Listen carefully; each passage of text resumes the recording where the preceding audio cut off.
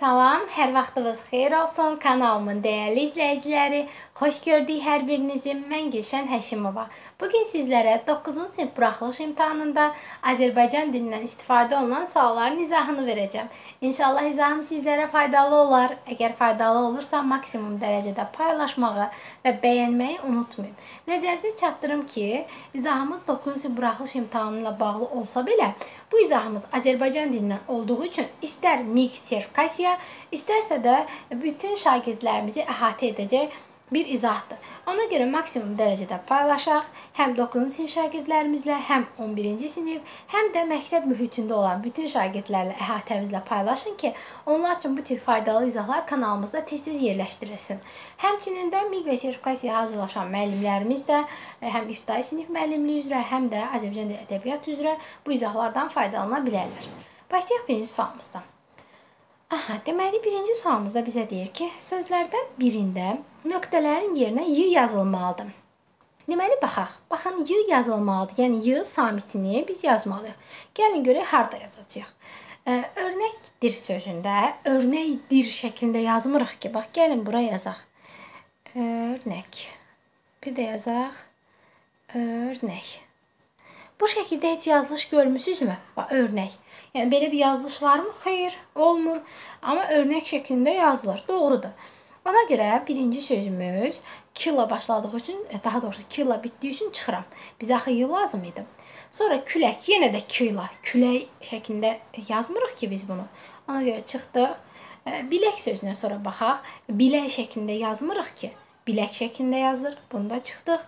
Çiçək sözünə sonra baxaq. Çiçək şəklində yazmırıq ki, çiçək şəklində yazılır da.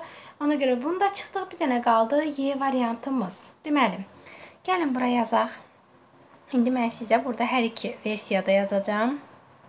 Deməli, birinci yazıram köməkim. Bir də yazıram köməyim. Aha, baxaq. Fikir verirsinizsə, Birincidə kömək kim şəklində yazdım. İkincidə isə köməyim şəklində yazdım. Həm kıyla yazdım, həm yığla ki, əyani şəkildə görəsiniz. Birinci birinci sözümüz fikir verin necə də e, bir e, məna kəsb etmir sanki köməkim. Sanki kiməsə deyirsən ki və yaxud e, yazırsan, bir məktub yazmısan, orada yazmısan ki, sənə kömək kim lazımdır. Görün necə bir e, düzgün olmayan bir vəziyyət yaranır. Amma məsələn bax yazırıq ki, sənə köməyim lazımdır. Bax yığla. Görürsüz necə gözəl yazılış qaydası olur. Yəni həm orfoqrafik cəhətdən pozmuruq qaydanı. Yəni orfoqrafik o deməkdir ki, yazılır. Ona görə elə doğru cavab olacaq yığla yazılan köməyim sözü. Ona görə Y variantını götürəcəyik. Köməyim. Doğru cavabımız birinci testdə oldu Y variantı. Keçək növbəti testimizə. Deməli, növbəti testimizdə bizə deyir ki, hansı nümunədə birinci tərəfin son samiti kar tələffüz olunur? Aha, kar. Bax, əsas bura fikir verməliyik ki, kar. Bu hissəyə diqqətli olaq. Çünki bəzən istər abituriyentlər olsun, istər müəllimlərimiz olsun, e, şərti düz oxumurlar. Ona görə diqqətli olaq şərtə. Hə, kar tələffüz olunur deyir bizə. Ümumiyyətcə, kərpic almaq sözündə belə bir bizim e, qaydamız var ki, 4 dənə samit var ki, baxın bu samitlər, gəlin bura yazım mən. Üzürlü hesab edin. Mən tez-tez yazıram deyənə vaxtımız getməsin deyə biraz səliqəsizlik ola bilər ekranda. Bunu ümidvaram ki, anlayışla qarşılayarsınız. Deməli, bu 4 dənə samitimiz B, D, bir də C və G samitləri. Bu 4 samitimizin özündən ə, e, özü bax sonu bitib. Bax məsələn, kərpic sözü nə ilə bitib? C ilə. Bax burdakı samitlər. C ilə bitib. Gördüyümüz kimi C ilə bitib, özündən sonra sait gəlib. Sait gələrsə heç bir dəyişiklik olmaz. Onsuz bunlar cingirtilidir, düzdür? Yəni bu 4 dənə samitimiz cingirtilidir. Kərpic sözündəki c nədir? Cingirtili. Aha, bizə nə deyirdi? Kar tələffüz olsun. Və mən də bilirəm ki, qaydama əsasən e, kərpic sözündən sonra saitlə başlayan söz gəldiyi üçün kərpic sözü elə e, kərpic olaraq tələffüz olunacaq. Yəni c kimi. Kara keçməyəcək, ç olmayacaq. Hə, ona görə A-nı çıxıram. Sonra keçirəm C-yə. B-ni saxlayıram çünki birbaşa cavaba adaptasiya olmaq istəmirəm. Bütün variantları sizə izah edəcəm. Aha, C-də deyir ki, kəmənd atmaq. E, kəmənd atmaqda yenə D, D var. Gördüyünüz kimi sonu D ilə bitib və özündən sonra sait gəlir. Yenə də bu e, cingiltili tələffüz olunacaq. Yəni kar olmayacaq. Yəni necə yazılıb elə tələffüz olunacaq. Ona görə C-ni də çıxırıq. Sonra keçək D-yə. Nərd oynamaq. Nərd oynamaq da yenə D-dır. Gördüyünüz kimi e, cingiltilidir. Özündən sonra sait gəlib belə cingiltili olaraq da qalacaq. Ona görə çıxırıq. Sonra yenə corab. Baxın B burdakı birinci samitimiz B kimi yazılıb. Belə B kimi də tələffüz olunacaq. Niyə? Özündən sonra sait gəlib. Ona görə yeni də çıxırıq. Bir dənə qaldı bizim Doğru cavabımız B variantı. İndi gəlin bunu təhlil edək. B variantında fikir verirsə sait gəlməyib, samit gəlib. Hə, deməli samit gələndə bu 4 dənə samitdən sonra samitlə başlayan söz gələndə və yaxud şəkil çağırtılanda necə olacaq? Özünün kar qarşılığına keçəcək. G-nin kar qarşılığı nədir? K. Deməli, nəhəng sözü necə tələffüz olunacaq? Gəlin bu hissəyə yazaq. Nəhəng. K şəklində üzülü sayın çox səliqəsiz alındı. Sadəcə yerimiz məhduddur deyə. Həm də vaxtımız nəhəng. Yəni silib yenidən yazdım. Aha, deməli nəhəng şəklində. Gördüyünüz kimi 2 şəklində. Bizə də nə lazım idi? Bizə də şərtdə deyir ki, son samiti kar tələffüz olunur. Aha, ona görə doğru cavabımız olacaq B variantı kar tələffüz olunan B variantındadır. Keçək növbət testimizə. Görək növbəti testimizdə bizə nə deyiləcək. Nəzərinizə çatdırım ki, bu izah 9-cu sinif abituriyentləri üçün, 9-cu sinif buraxılışı üçündür. Amma istər MİQ, istər sertifikasiya üzrə hazırlaşan müəllimlərimiz də izaha diqqətli baxsın, çünki Azərbaycan dili Azərbaycan dilidir. Yəni dəyişilmir, hamıya eynidir. Sadəcə indi müəyyən bir ağırlıq səviyyəsi ola bilər ki, kimə ixtisasından asılı olaraq istər ibtidai sinif müəllimi, istər filologiya 9-cu sinif əhatəsi onsuz düşür. İndi filoloqlara 10-11-də düşür. Amma yəni bu e, ibtidai sinif müəllimləri üçün də faydalı bir izahdır. Keçək növbəti testimizə. Aha, növbəti testimizə bizə deyir ki, səs tərkibi ilə bağlı klasteri hansı fikirlərlə tamamlamaq olar? Deməli, gəlin birinci ə, e, cəfakeşlik sözünü bir ə, e, tələffüzə ayıraq. Yəni tə deyiliş tərzini yazaq özümüz üçün. Gəlin bu hissəyə yazaq. Cəfa keş dih şəklində. Baxın, ih oldu bu. Üstündə x, üst iştirik ih deməkdir. Deməli, cəfakeşlik şəklində tələffüz olundu. Düzdür? İndi gəlin baxaq cavablarımıza. Tələffüzünü yazdıq sözün. Deməli, deyir, yazılışı və deyilişi arasında iki fərq var. Düzdür? Yəni, t, d-ya keçdi, k da i hissəsinə keçdi. Ona görə bu onsuz düzdür. Bunu özləri verib. İndi iki dənəni də biz əlavə eləməliyik. Yəni, doğru variantı. Oxuyaq birincidə. Birincidə bizə deyir ki, 2 açıq, 2 qapalı sayt işlənmişdi. Gəlin baxaq. 2 açıq, 2 qapalı. Xeyr, 3 dənə açıqdır. Burada i bir dənə qapalı var, o da i. Ona görə bir səhvdir, biri yazmayacağıq. Keçək 2-yə. 2-də deyir ki, uzanan səs var. Cəfa keçdik. Baxın, burada 2 nöqtəni qoymağı unutmuşuq. A uzanır. Cəfa keçdik. Burada A səhvdir, uzanır. Ona görə bunu götürürük. 2-ni götürdük. Sonra keçək 3-ə. Qarşılığı olmayan samit işlənmişdi. Gəlin baxaq. C-nin qarşılığı var, F-nin qarşılığı var, Q-nin qarşılığı var, Ş-nin qarşılığı var, D-nin da, həmçinin I-in də qarşılığı var. Ona görə səhvdir bu. Keçək 4-ə. Sözdə T səsinin qarşılığı işlənmişdi. T-nin qarşılığı D-dır və burada da var. Düzdür. Deməli 4. 2 4. C variantı doğru cavabımız. Keçək növbəti suala. Aha, növbəti sualda bizə deyir ki, antonim cütlüyü müəyyən edin. Ümumiyyətlə antonim, amonim, sinonim bunlara diqqətli olaq. Antonim əks mənadır. Yəni bir-birinin əksi. Məsələn, gözəl, çirkin. Gözəl görünüşdə gözəl olandır, çirkin isə, yəni çirkin olan şəxsdir ki, görkəmi xoş olmayan, belə deyək. Eynən antonim də bu deməkdir. Yəni əks mənalı sözlər. Gəlin baxaq. A variantında hə, bir də bu məqamı nəzərinizə çatdırım ki, antonimlər e, eyni nitq hissəsi olmalıdır. Yəni necə? E, isimdirsə isim, sifətdirsə sifət, feildirsə feil. Məsələn, gözəl, çirkin. Hə, ikisi də nədir? Sifət. Hə, bunlar ona görə antonimdir, həm də əks məna bildirir. Gəlin baxaq. E, qara, beyaz. Hə, elə doğru cavab A-dır. Niyə? Çünki e, qara sözü qara, tünd tondur. Bəyaz isə onun açıq tondur. Ona görə bir-birindən əks mənadılar. Belə deyək də, ağ, qara. Ona görə A variantını rahatlıqla götürür. Məsələn, toy bayram yaxın mənalı saymaq olar bu sözləri. Amma heç bir belə deyim də, yəni sinonim kimi götürmək baxımından baxsaq, yenə də sinonimlərdə antonimlər kimi yadınızda saxlayın. Eyni diksiyası olmalıdır. Sonra baxın ağıl güc. Ağıl hara, güc hara. Ona görə çıxırıq. Heç nə antonimdir, nə sinonimdir. Ona görə C variantda getdi. Sonra keçək D-yə. Getmək, yürümək. Getmək hara, yürümək hara. Heç mənalarında yəni yürümək e, bir növ asta-asta getmək mənasında. Amma getmək isə e, yəni insan yolunu gedir də. Yəni mənaları bağlılığında o qədər antonimli ümumiyyətcə yoxdur. Ona görə çıxırıq. Sevimli, dərdli isə tamamilə fərqli bir sözlərdir. Baxmayaraq ki, sifətdir ikisi də. Bir dənə qaldı A variantımız. Keçək növbəti testimizə. Növbəti testimizdə bizə deyir ki, sadə sözü müəyyən edin. Sadə söz istəyir. Gəlin baxaq. Birinci təhlil edək sözlərimizi. Qara, qaral, leksik, maq, qrammatik. Deməli, bu düzəltmə sözdür. A-nı çıxıram. Səfalı sözü, basəfa sözü daha doğrusu. Deməli, səfa sözün köküdür. Ba isə leksik şəkilçidir, ön şəkilçidir. Bu da düzəltmədir bizə sadə lazım idi. Dairə sözün kökü vi leksik şəkilçi. Vurğu sözün kökü, vur sözün kökü ğu leksik şəkilçi. Baxın, hamısı düzəltmədir. Bir dənə qalır C. Sara sözün kökü saral leksik şəkilçi olmayacaq ki. Hə, ona görə C variantımız sadə sözdür. Bir də nəzərinizə çatdırım ki, bu hissədə əlaqə nömrəsini qeyd etmişəm. 055 280 59 24 nömrəsi ilə əlaqə saxlayıb İstər mix sertifikasiya üzrə, istərsə də abituriyentlərimizin hazırlığı üzrə müraciət edə bilərsiniz. Hal-hazırda yeni qruplarımızda qeydiyyat davam edir. Nəzərinizə çatdırım ki, dərslərimiz həyatla əlaqəli formada istər şagirdlərin, istər müəllimlərin istəyini nəzərə alaraqdan ən sadə formada təşkil olunur.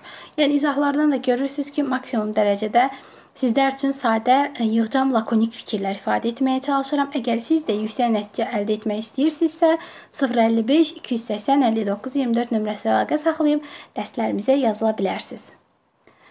E, keçək növbəti suala. Bu hissədə onsuz sualların aşağı hissəsində hamısında əlaqə nömrəsi var. Yəni oradan götürə bilərsiniz.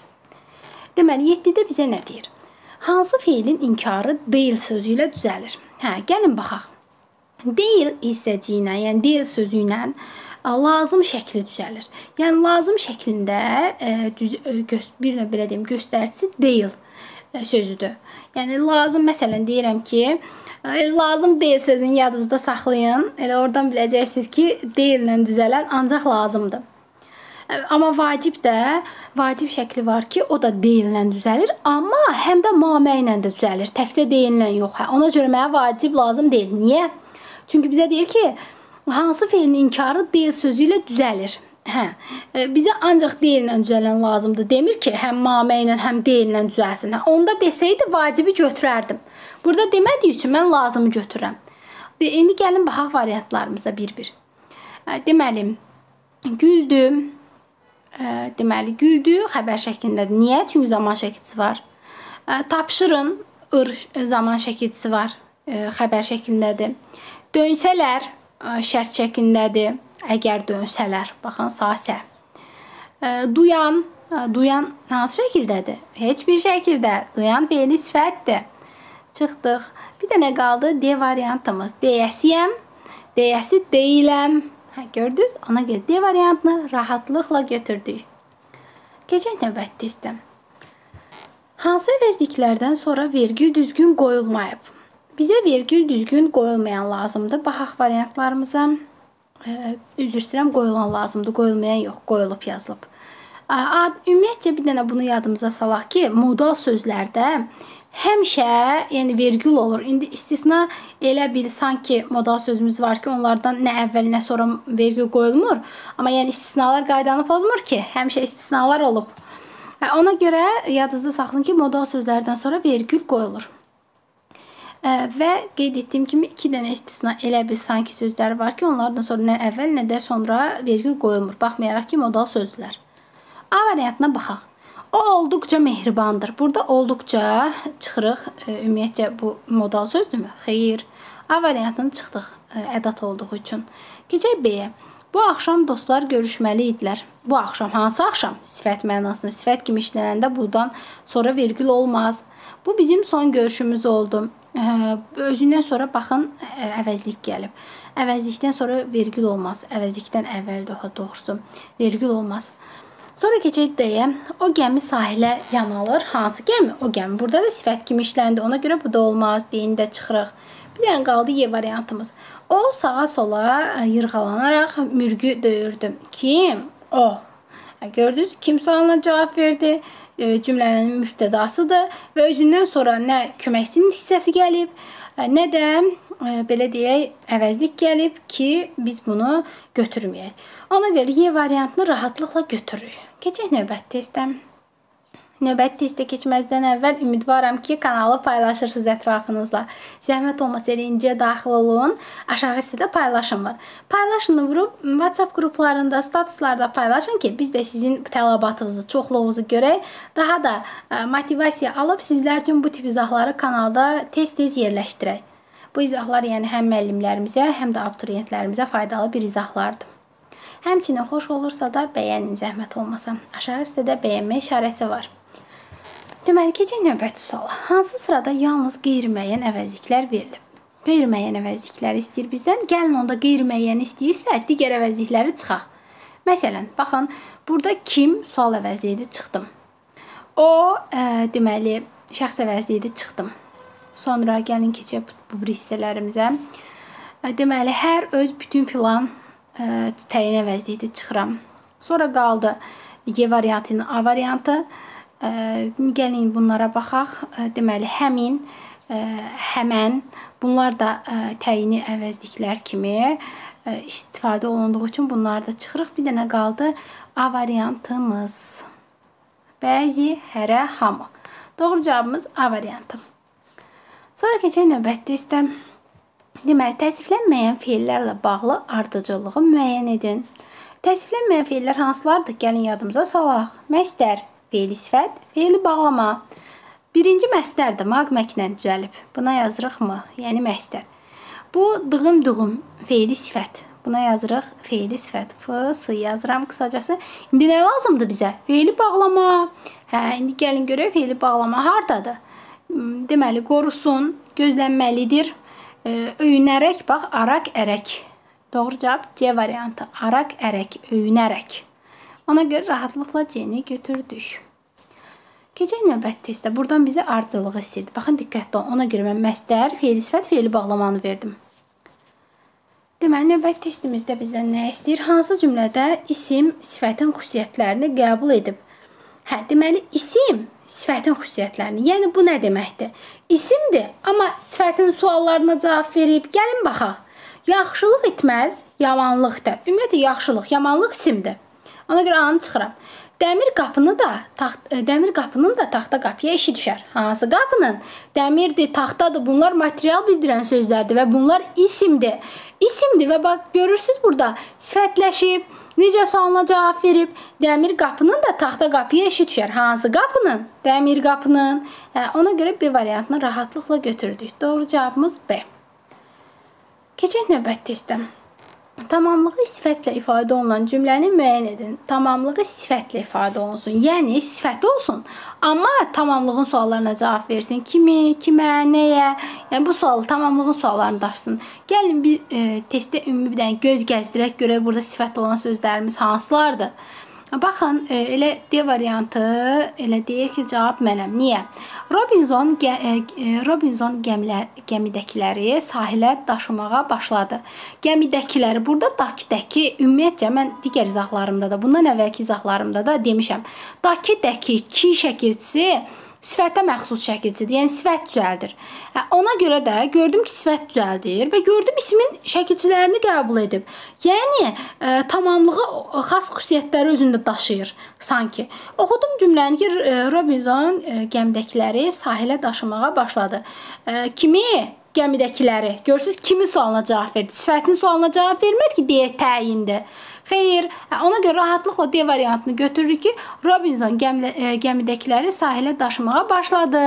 e, gəmidəki sözü sifətdir və e, cəm və hal şəkilçisini qəbul edərəkdən nə edib? İsimləşib. Ona görə həm isimləşib və tamamlıq olub cümlədə funksiyası. Rahatlıqla D variantını götürdük. Bir də nəzərinizə çatdırım ki, bundan əvvəlki izahları görməmisinizsə, ilk dəfədirsə kanala baxırsınızsa, aşağı hissədə abunə ol var. Onu vurub qırmızı rəngdə Gülşən Həşimovanın e, sağ tərəfində abunə ol vurursunuz, kanala abunə olursunuz ki, bu tip izahları tez-tez görəsiniz kanalda. Həmçinin abunə olanda artıq bildiriş şəklində sizə gələcək izahlar. Deməli, növbəti sualda bizə nə deyir? Biri tərzi hərəkət zərfidir. Ümumiyyətcə tərzi hərəkət zərfidirsə, yəni hərəkətin tərzini bildirəcək. Düzdür? Baxaq, hərdən bir zaman bildirir, üzü yuxarı yer bildirir, dəfələrlə miqdar bildirir. Baş başdan binadan ümumiyyətcə bu zərf deyil. Ona görə bir dənə qaldı Y variantımız həzin həzin sözü. Həzin həzin sözü zərfdir və tərzini bildirir. Yəni nə tərzdə? Həzin həzin. Ona görə Y variantı. Bir də başdan binadan sözü əslində bunu biz istifadə eləyəndə bir də belə deyim, miqdar zərfi kimi də istifadə üzr istəyirəm, zaman zərfi demək istədim. Zaman zərfi kimi də istifadə edə bilərik. Yəni deyirəm başdan binadan bu evin əzəli belə qurulub. Nə zamanla? Hə, yəni bu formada istifadə etsək, hə, olar. Görürsüz Azərbaycanda necə xırdalığına kimi e, dərin bir elmdir. Nə qədər öyrənsək, nə qədər təkmilləşdirsək, hələ də azdır. Doğru cavabımız oldu Y variantı. Keçək növbəti suala. Biri frazoloji birləşmə deyil. Aha, bizə frazoloji birləşmə lazım deyil. Yəni frazoloji birləşmələri çıxacağıq. Ümumiyyətcə frazoloji birləşmə nədir? Gəlin yadımıza salaq.